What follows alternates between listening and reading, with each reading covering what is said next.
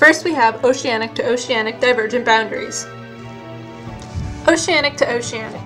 When a divergent boundary occurs underneath the oceanic lithosphere, the rising convection current lifts below the lithosphere, making a mid-ocean ridge.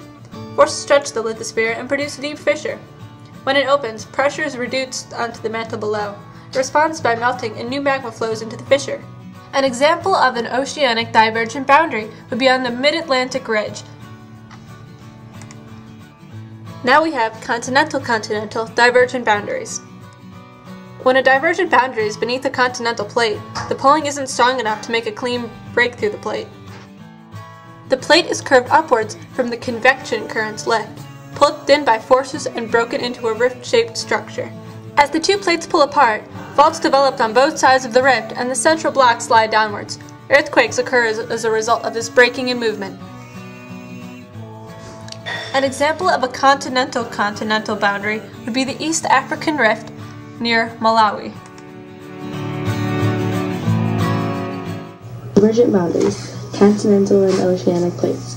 When continental and oceanic plates collide, the oceanic plate, which is denser, is forced down to the mantle in the process called subduction. Subduction is a term that explains how, in a convergent boundary, one plate moves underneath another plate and is recycled into the mantle. While the oceanic plate descends, it goes into environments with higher temperatures. An example of this would be the Washington-Oregon coastline. Continental and continental. This is when there's a collision between two continents and the formation of mountains, and when they move toward each other under one plate, the seafloor is subducted. An example of this would be the Andes Mountains.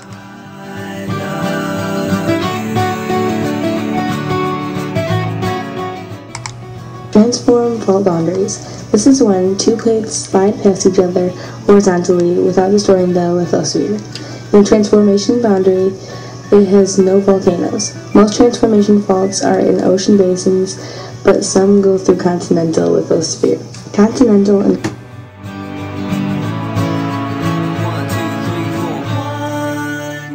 An example of this would be the Alpine Fault in New Zealand. There's also hotspots. Volcanoes also occur in areas that are not near plate boundaries, they're in the interior of them. These are called hotspots. Hotspots result from plumes of hot mantle surging towards the surface. They also tend to be fixed in position with the plates moving over the top. As the rising plume of hot mantle moves upward, it begins to melt to produce magma. This magma then rises to the surface, producing a volcano. An example of a hotspot would be the state of Hawaii.